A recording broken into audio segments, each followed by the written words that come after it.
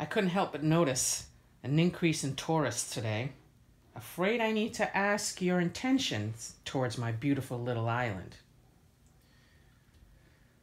My only intention is to get full down drunk.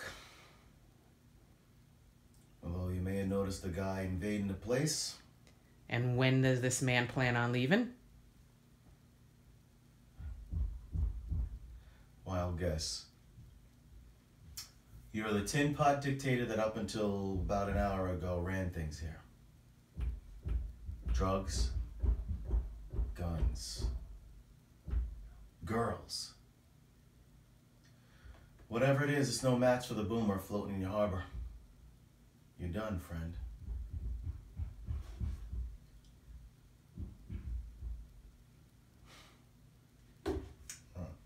I understand there may be some cultural differences.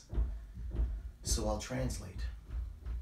Whenever someone where I'm from calls you friend, they don't consider you one. This is my city. If I allow your presence, it comes with certain terms and conditions. Is that clear, friend?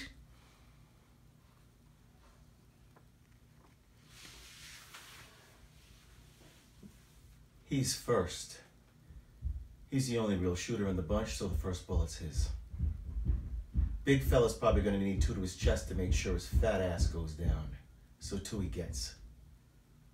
And while Dopey's fumbling for the gun in his back waistband, Grumpy gets it between the eyes.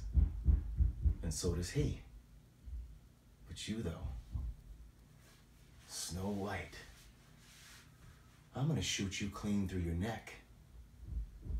That way, his blood gushes out of your choking throat, and you want desperately to beg me for your life, no matter how hard you try. You won't be able to make a sound. Or you could just leave me in peace to enjoy my drink. Americans, such confidence. You and your friends will hear from me.